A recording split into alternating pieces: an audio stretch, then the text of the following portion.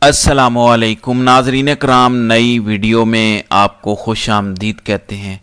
آج ایک دعویٰ کیا گیا D G I S P R کی پریس کانفرنس میں کہ فوج کا کوئی سیاسی ایجنڈا نہیں ہے، وہ صرف ایک قومی فوج ہے۔ حالانکہ یہ سفید جھوٹ ہے کیونکہ اگر پاکستان کا یہ ادارہ اقتدار اور سیاست چھوڑ دے تو پاکستان کے سارے مسائل آٹو پائلٹ پر حل ہو جائیں گے۔ اس جھوٹ پر تو پوری قوم یقین کرنے کو تیار نہیں ہے۔ میں آپ کو اس کا بریک ڈاؤن کر کے بتاتا ہوں کہ آج کس قسم کا بیانیہ سامنے آیا اور یہ بڑا خطرناک بیانیہ ہے۔ آج ایک اچھی خبر بھی آئی کہ جسٹس طارق محمود جہانگیری کے خلاف جو جعلی ڈگری کیس بنایا گیا تھا، سندھ ہائی کورٹ نے سنڈیکیٹ کا فیصلہ معطل کیا اور کہا کہ بادی النظر میں یہ بدنیتی پر مبنی فیصلہ ہے۔ تو فی الحال جسٹس طارق محمود جہانگیری کی ڈگری کا کیس پاؤز پہ چلا گیا ہے۔ میرا اس پر تجزیہ یہ ہے کہ دو چیزیں ہو سکتی ہیں۔ ایک یہ کہ جب بندہ ایک جج ہوتا ہے اور نوکری سے نکال دیا جائے، تو اسے ہوتا ہے کہ میں تو بڑے پائے کا وکیل ہوں، میں تو پیسہ کما لوں گا، مجھے کوئی مسئلہ نہیں ہے۔ لیکن یہاں ڈگری پر حملہ کیا گیا۔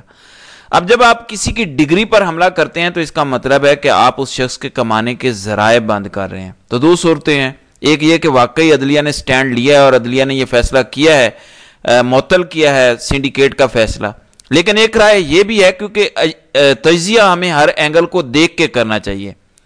کیا جب جسٹس طارق محمود جہانگیری کے سارے ذرائع بند کر دیے گئے، ان کی ڈگری بنیادی جو ہے وہ جعلی قرار دے دی گئی، تو کیا اس کے بعد انہوں نے کچھ نرم گوشہ دکھایا اداروں کو، جس کے بعد سندھ ہائی کورٹ سے یہ فیصلہ آیا؟ کیونکہ میں آپ کو ایک بات یاد دلا دوں کہ سندھ ہائی کورٹ وہ واحد ہائی کورٹ ہے جب چھ ججز نے خط لکھا اور تمام ہائی کورٹ سے پوچھا گیا سپریم کورٹ کی طرف سے کہ آپ ہمیں بتائیں کہ کوئی مسائل ہیں، تو سندھ ہائی کورٹ نے کہا کہ ہمیں کوئی مسئلہ نہیں ہے۔ یعنی سندھ ہائی کورٹ کہتی ہے کہ یہاں پر ایجنسیوں کی کوئی مداخلت نہیں ہے۔ کوئی ہم مکمل سو فیصد انصاف کرتے ہیں۔ اب یہ ممکن ہے، آپ مجھے بتائیں۔ تو یہ ہمیں تب پتہ چلے گا جب جسٹس طارق محمود جہانگیری اگلا کیس سنیں گے۔ خاص طور پر اگر ٹریبیونلز بحال کر دیے جاتے ہیں تو اس کے بعد ان کا رویہ کیسا ہوگا۔ پھر ان کے خلاف جو کمپین چلائی گئی، اس پر جو سوموٹو لیا گیا تھا اور ایک فل کوٹ بینچ بنایا گیا تھا، اس کی اگلی سماعت انیس ستمبر کو ہونے جا رہی ہے۔ آج D G I S P R نے ناظرین کرام ایک پریس کانفرنس کی۔ میں اس کا نچوڑ دو وجوہات کو سمجھتا ہوں۔ ایک، انہوں نے کہا کہ دیکھیں ہم نے تو خود احتسابی کا ایسا نظام بنایا ہوا ہے اور دیکھ لیں ہم نے D G I S I فیض حمید کا بھی کورٹ مارشل سٹارٹ کیا ہوا ہے۔ اب باقی اداروں کو بھی چاہیے کہ وہ خود احتسابی کریں۔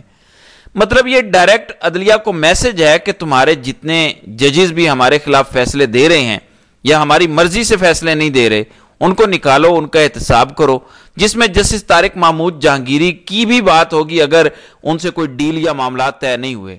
تو ایک تو یہ میسج ہے عدلیہ کو آج کی پریس کانفرنس میں۔ ایک میسج ہے عمران خان اور تحریک انصاف کو۔ کہا گیا ہے اور یہ بڑی عجیب و غریب تبدیلی ہے ان کے بیانیے میں۔ پچھلے پانچ چھ سال سے ہم سن رہے تھے کہ خان کو فیض حمید چلا رہا ہے۔ فیض حمید نے عمران خان کو الیکشن میں جتوایا۔ فیض حمید نے اس کی حکومت بھی چلائی۔ فیض حمید نے اپوزیشن کو بھی تن کے رکھا۔ سب کچھ فیض حمید نے کیا اور وہ پی ٹی آئی کو چلا رہا ہے۔ یہ بیانیہ تھا چھ سال میں۔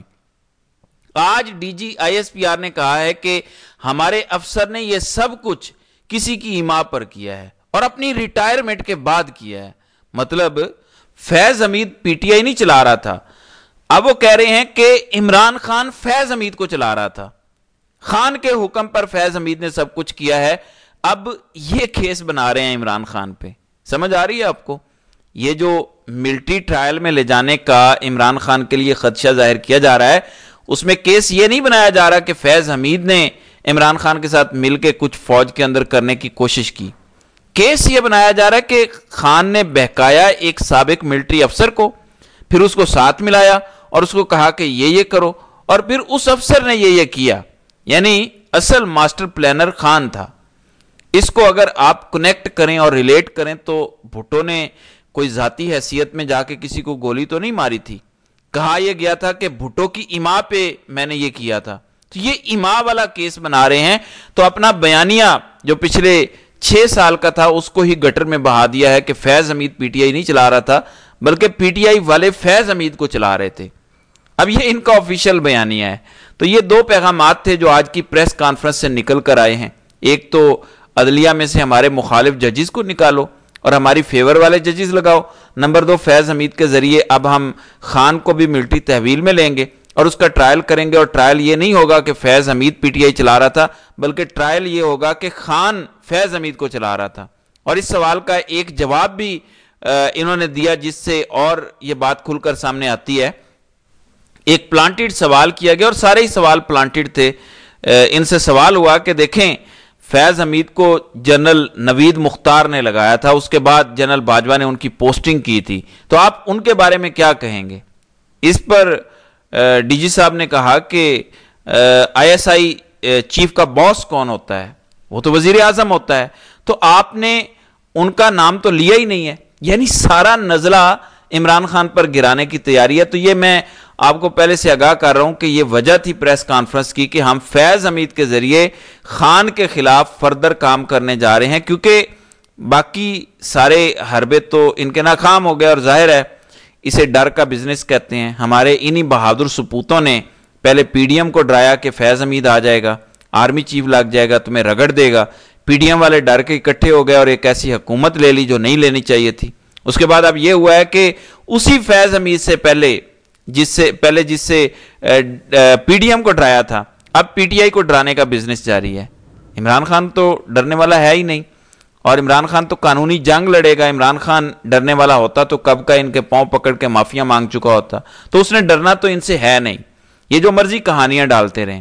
اب آپ صرف اندازہ لگائیں کہ ان کے لوگ اب سار عالم وغیرہ کیا کہانیاں ڈال رہے ہیں کہ فیض حمید ڈیٹا چوری کر کے لے گیا۔ کوئی کہتا ہے وہ ڈیٹا اس نے یو ایس بی کے لگا کے سارا اڑا دیا آئی ایس آئی کا۔ مطلب جو بھی ان کے پاس ڈیٹا موجود تھا، ہر کسی کا ویڈیوز وغیرہ، وہ فیض حمید لے گیا۔ وہ ان سے برامد کروانے کی کوشش ہو رہی ہے۔ تو شروع میں اس طرح کے ریومرز سے تو صورتحال یہ ہے کہ یہ صرف ڈرانے کے لیے، عوام کو خوف زدہ کرنے کے لیے، خان کو خوف زدہ کرنے کے لیے ایسی حرکتیں کر رہے ہیں۔ لیکن جو مجھے سب سے زیادہ پریشانی ہوئی ہے، یہ تو چلیں ان کی دھمکیاں اور سارا کچھ چلتا رہتا ہے۔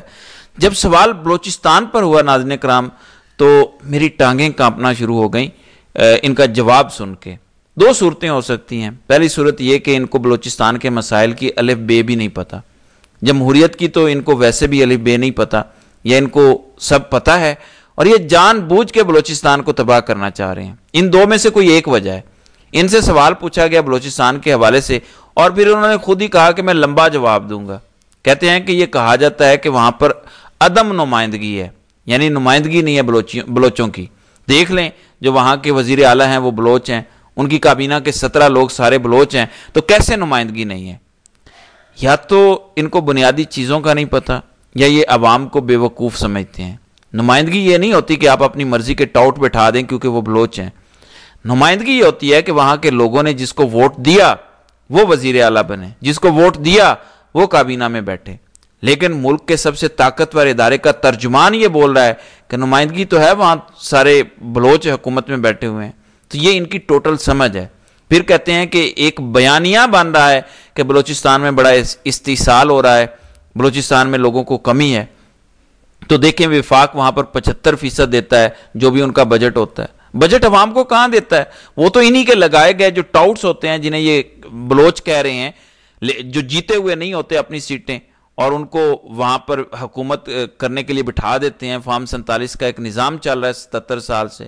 نمائندگی بھی نہیں ہے۔ اور وہاں پہ ان کے ٹاؤٹ بیٹھے ہیں تو پیسہ سارا بھی ان ٹاؤٹوں کے ذریعے انہی کی طرف واپس چلا جاتا ہے۔ عوام کو تو ملتا ہی نہیں ہے۔ ان کو بالکل بلوچستان کے مسائل کا نہیں پتا۔ بہرحال بڑی ہی عجیب و غریب یہ پریس کانفرنس کی گئی، جس کا خلاصہ کسی حد تک میں نے آپ کے سامنے رکھ دیا ہے۔ اب آپ نے فیصلہ کرنا ہے کہ کیا یہ واقعی غیر سیاسی گفتگو تھی۔ یا ایک وردی پہنے ہوئے سیاستدان کی گفتگو تھی۔ بہرحال، امید ہے آپ اس پر اپنی رائے کا اظہار بھی کریں گے۔ تو ناظرین کرام، آپ کی اس ویڈیو کے حوالے سے کیا رائے ہے؟ آپ اپنی رائے کا اظہار کامنٹ سیکشن میں ضرور کیجیے گا۔